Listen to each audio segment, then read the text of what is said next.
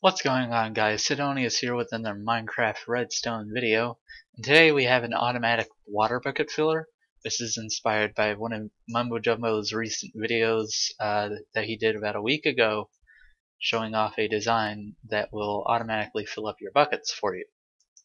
And mine's similar, but it doesn't use any pistons or torches, so based on that, it's a lot faster than his, and I, I guess it's more efficient in that way. It's it's also more compact, and it's also tileable like his is, but you can also add, build another one of these and invert it on this side too.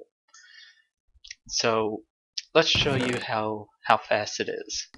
Just chuck in those buckets and watch it go, and as you can see here, the buckets are coming in really fast. It's a lot faster than Mumbo's. And what's going on here is we have a comparator checking to see whenever a an item goes into that hopper right there, and it delays this hopper so there's only one bucket going in at a time. And then this also blocks the uh, this hopper from taking that item right out as this repeater here shoots off the dispenser to get the water. And then as soon as that happens, the, the bucket is taken and put into the chest, as you can see here.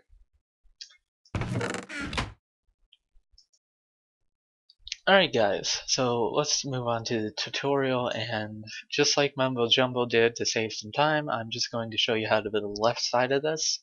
And we're just going to start by putting a half slab there some blocks here,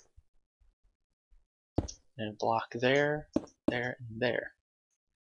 We don't need this block or this block, and we need a comparator here, repeater here set to 3 ticks delay, redstone here and here, a repeater here with no delay, and then we need a block there, there, and there, and a repeater here with one tick delay, or is it two ticks? I don't know.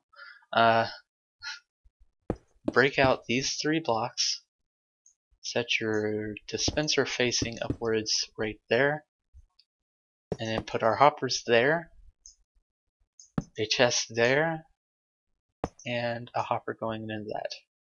So you can have these chests facing whichever way. I usually put uh, two chests right here, and then you can run your chest downwards so you don't get any uh, stacks overflowing into the dispenser. So let's go ahead and check our redstone. Everything looks right. Put our water down and chuck in our buckets. As you can see, it's working quite right. Buckets are filling up fast, quite faster than Mumbo Jumbo's did, and yeah, that's it. All you gotta do. So I hope you enjoyed this video. If you liked it, please subscribe for more videos. Uh, probably more retaining to Mumbo Jumbo's videos, but I'll try not to.